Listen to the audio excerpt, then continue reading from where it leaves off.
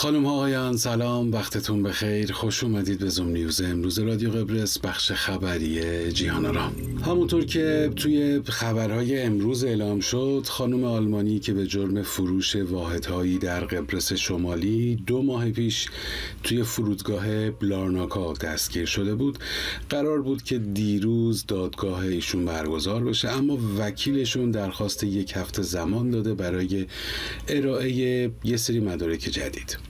دادگاه ایشون قرار دوی اکتبر برگزار بشه. ایشون با 56 مورد اتهامی روبرو هست. تو کیفرخواست اولیه برای ایشون درخواست هفت سال زندان بابت فروش پنج واحد آپارتمان توی قبرس شمالی بوده که تقریبا درآمد 170 هزار یورویی داشته برای ایشون.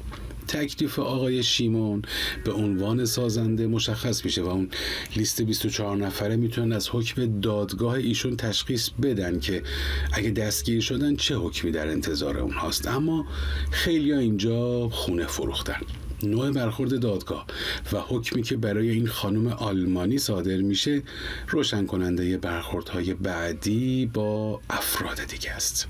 اینم بگم این احکام برای همه پروژه ها نیست. بعضی از پروژه ها توی شرکت های مختلف.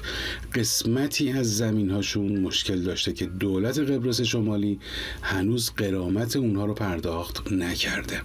اونا هم رفتن شکایت کردن و حالا این احکام صادر شده. می‌خوام بگم فکر نکنید که هر کسی که اینجا خونه فروخته الان دنبالشن فقط یه سری از پروژه ها مشکل داره و قرار نیست هر کی رفت جنوب دستگیر بشه. آقای طوفان ارهورمان رئیس حزب جمهوری خواه ترک تو قبرس شمالی گفته چنانچه اقدامات جدی در خصوص شناخت جمعیتی صورت نگیره از داشتن یک کشور امن فاصله خواهیم گرفت. در نتیجه انفجار پیجرهای حزب الله لبنان دست کم نه نفر کشته و نزدیک به سه هزار نفر زخمی شدن بیشتر این جراحت ها در ناحیه صورت شکم و آلت تناسلی رخ داده.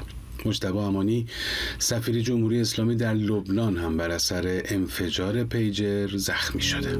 جلسه کمیسیون تعیین حداقل دستمزد که امروز قرار بود ساعت یک و نیم ظهر برگزار بشه به دلیل عدم حضور نمایندگان کارفرما به امروز عصر موکول شده. وزیر کار گفته که بهتر نماینده کارفرما بیاد تو جلسه این مبلغ 35 هزار لیر چیز زیادی نیست. دمای هوا برای فردا ماگوسا و اسکله 19 تا 30 درجه نیکوزیا 17 تا 31 گیرنه 19 تا 30 لفگه 21 تا 31 پافوس 20 تا 29 لیماسول 18 تا 30 لارناکا 20 تا 32 و کارپاس. 23 تا 26 درجه سانتیگراد گزارش شده. این رو هم اضافه بکنم که سازمان هواشناسی پیش بینی کرده از فردا تا آخر هفته همراه با بارندگی خواهد بود. و حرف آخر این که هیچ مدرکی در مورد معجزه ها وجود نداره مگر مدارکی که دروغ بودن اونها رو ثابت می‌کنه. اما معجزه واقعی اینجاست که ادهی سعی می‌کنن این دروغ ها رو اثبات کنند. دلتون شاد لبتون خندون.